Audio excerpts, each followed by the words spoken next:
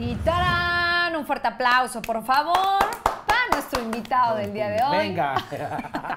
Pocos, pero con gusto, caray, sinceros. Está con nosotros nuestro compañero y productor y, por supuesto, amigo, Alfredo Canseco, para analizar esta Copa América. Alfredo, Hola, un Naye, gusto ¿cómo que estás? estés con nosotros. Muchas gracias. Un gusto saludarte. Bienvenido a este gran programa de MBM Deportes. Y bueno, pues de cierta manera, pues a platicar del fútbol. ¿no? A mí como me encanta el fútbol también. Y, Sí se nota. y más de este caso. Sí se nota, Pues de, de- gusta. de la Copa América, como comenta Naye, ¿no? Pues ya ahorita ya están las semifinales. Pero yo quiero que me platiques de la selección mexicana. ¿Cómo viste a esa selección mexicana que yo en lo personal, para mí una- fue una decepción?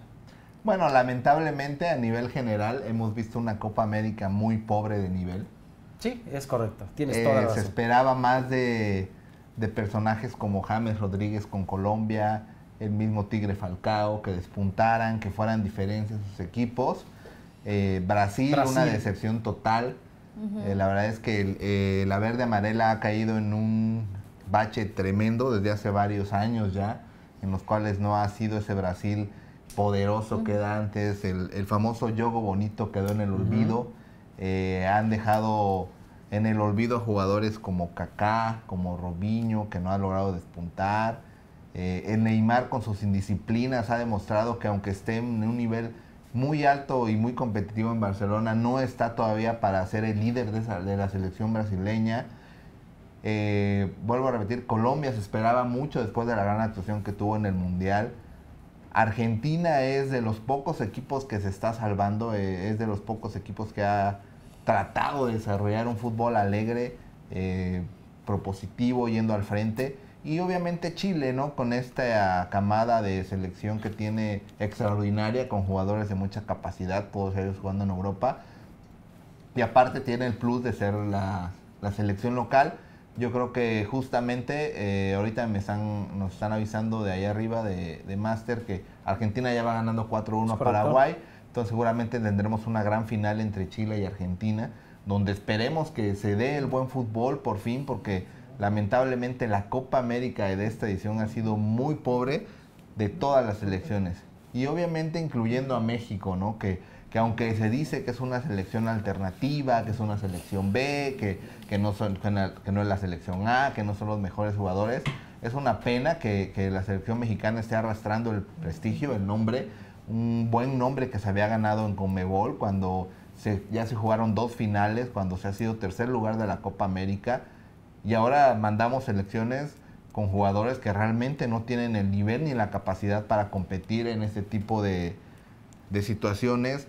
Ir a jugar a Sudamérica es muy complicado, el ambiente, el arbitraje, los estadios, los campos de juego no son los óptimos. Sin embargo, creo que no se vale que manden un representativo sin nivel, Claro. sin preparación y que haya quedado prácticamente en último lugar de la Copa América por segunda ocasión consecutiva.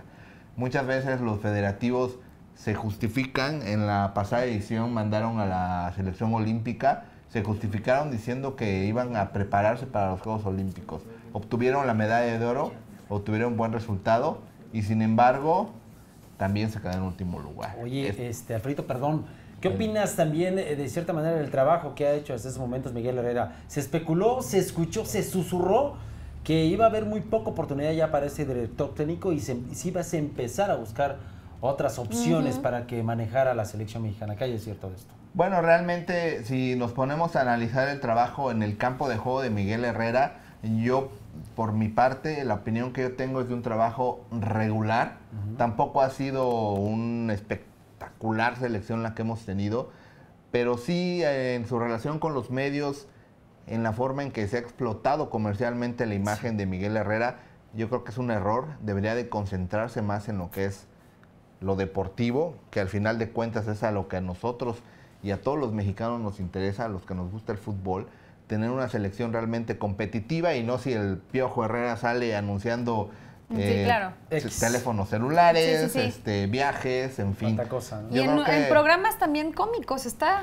Así es, desafortunadamente ahora también comete un error de enfrascarse con, con un comentarista de, de Azteca, en dimes y diretes, sale su hija, en fin, yo creo que no, no es de un director técnico de una selección nacional, Yo creo que si Miguel Herrera quiere trascender, debe de, de medir Sí, de y evitarlo. y de saber hasta dónde puede y hasta dónde no puede Guardar hacer la cordura, ¿no? Por como debe de ser, claro. Ahora, con el partido anterior de México contra Costa Rica, yo la verdad, aunque ahora sí digan que la selección, ah, que somos un trabuco, que vienen los europeos, pues yo no le vi mucho a México. No. Eh, empezó con Muy una mal. formación eh, con cinco atrás, como es, es la Copa Oro, como suele ser. Eh, fue un amistoso Un previo a la amistoso. Copa Oro.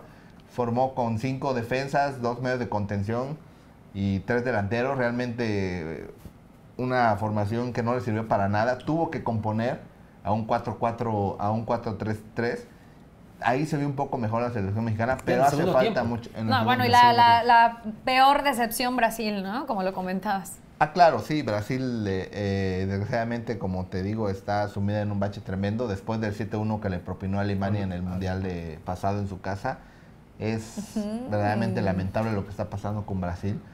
Eh, Pues digo, es parte del fútbol, ¿no? Y ni modos con respecto a Brasil. Ahora, bueno, platícanos esta, esta parte de, de que, bueno, Chile, la sensación en estos momentos, equipo, pues sede, gana ya el día de ayer a Perú dos goles por uno y ahora se está enfrentando a Argentina y está ganando cuatro goles por uno. Probablemente sea la, la final Argentina-Chile. Sí, ¿Cómo hecho- ves ese- esa, esa gran final? Yo creo que va a ser un partido abierto, muy peleado en media cancha. Los dos equipos tienen jugadores de mucha capacidad en lo que es en el centro del campo. Eh, Chile se tiene que basarse en lo que haga Arturito Vidal. Exacto. ¿no? Y en Vargas, que, se ha, que destacado como su delantero Qué bárbaro ese en- Vargas, en, ¿eh? esta Copa América. Muy, y por este, otro efectivo. lado, Argentina, pues sabemos que tiene que descansar todo sobre Messi. Sí, con él. Así es. O sea, toda la gente, imagino que toda la defensa va, va a ir tras el, el amigo este Messi. No lo van a dejar jugar, no, no van a dejar hacer su juego. Y como lo comentan, ¿no? la sensación de, de Chile, este jugador delantero que ha hecho un gran trabajo, ya ha metido bastantes goles. Vargas. Pero bueno, Así pues ahí está. ¿Qué creen? ¿Qué? Pues ya se acabó el tiempo. Ya se acabó, Ya estamos Alfredo, igual que ayer con el muchísimas béisbol, el fútbol. Muchísimas gracias por toda tu información, siempre tan Gracias, acertada. Canseco. Muchas gracias, público querido, por toda su atención. Nos vemos hasta mañana. Gracias, Gustavo. Muchísimas gracias, Nayeli. Recuerden que con Alebrijes de Oaxaca hasta el final. ¡Hasta pronto!